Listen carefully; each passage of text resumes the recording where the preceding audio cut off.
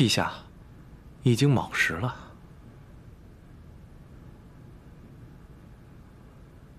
再等等吧。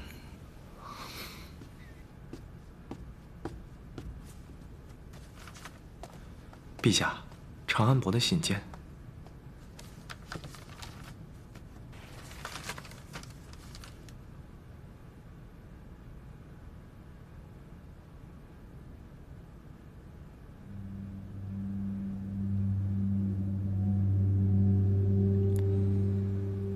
容霞他真的不来了。陛下，您乃真命天子，要相信自己才是。眼下百废待兴，更有能人可为君，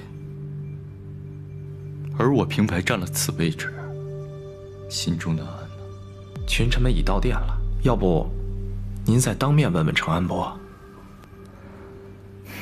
此刻不宜强逼程安伯。日后我会再想他法的，你先下去准备吧，我随后便上朝。是。先是我石家没落，祖父遇难，到如今飞仙和蒋洛也成了阶下囚，这一桩桩都与陈安伯脱不了干系。陛下如此信任他，只怕会养虎为患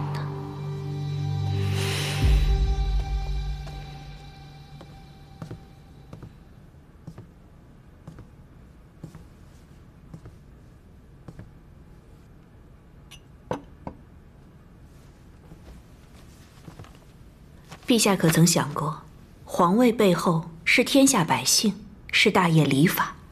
陈安伯若是接了，为天下人不耻；若是不接，则是弃天下人于不顾。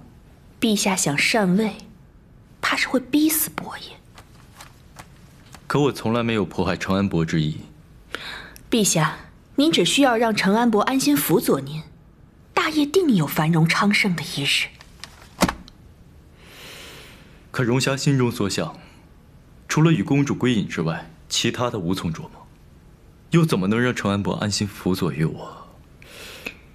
昔日先帝早已为您指出了一条明路。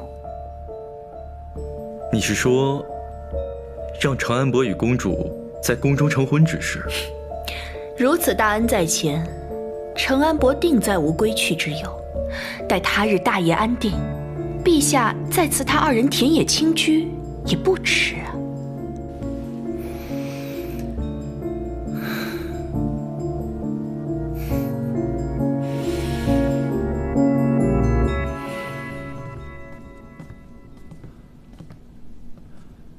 宣诏。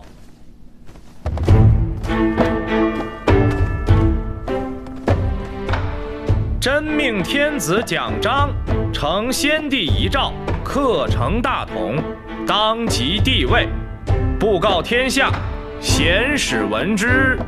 吾皇万岁万岁万万岁！众卿平身，谢陛下。宣旨。宣旨。第一道旨：罪臣谢崇锦将功补过，从轻处置，罢免官职，贬为庶民。谢陛下。封石进为护国大将军。谢陛下。敬亭公。依其意愿归位敬亭侯，俸禄不变，府邸不变。微臣已老，只是想找个清静的地方，过个安安稳稳的日子。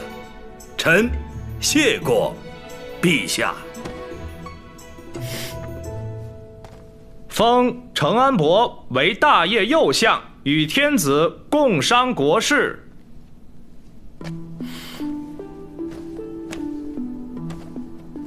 谢陛下，恭贺荣下。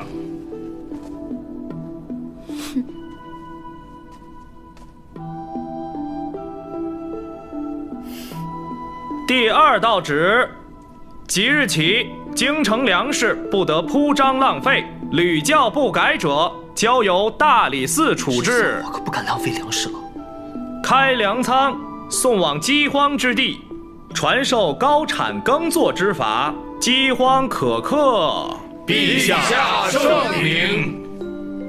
第三道旨：程安伯接旨。臣在。赐长安伯、长乐公主大月宫成婚，享国礼。陛下，这大月宫乃是国之圣地，容相虽功高位重，可于规矩不服啊！陛下，陛下，微臣乃外姓之人，如此大礼，微臣不敢受。此乃先帝之旨，还望诸位顺意。等等。我还没答应嫁不嫁呢，这你怎么回事啊？姐，你哪个劲不对了？陛下，这成婚可是两个人的事。伯爷若是真想娶我的话，不如先答应小女几个条件吧。公主但说无妨。嗯，金银珠宝。钱财聘礼倒是不需要，这些我家都有。但是呢，伯爷必须派最好的婚队和马车来接我，不然我可不上车。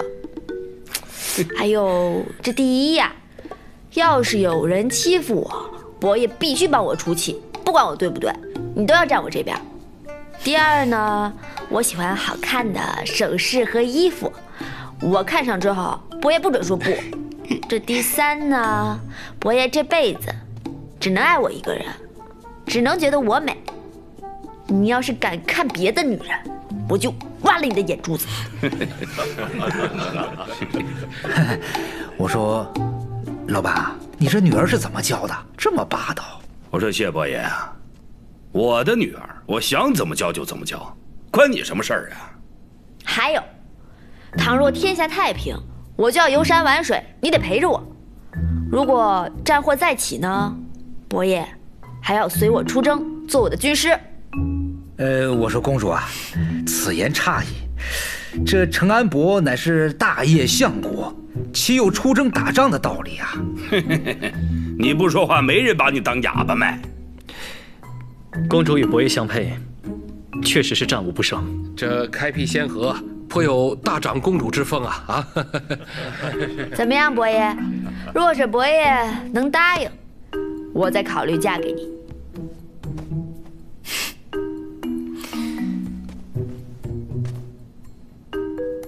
要最好的马车和婚队，要花时间陪你，为你出气，还要最好看的首饰。嗯，这些条件。若木要是无法答应呢？那就恕小女不嫁，伯爷孤独终老吧。嘿，花花，万万不可！你所在之处，便是我所在之处。若梦答应花花，今生只娶花花一人。明日一早，花花在家中静候，若某会备下最好的马车和婚队，接花花入宫。嗯。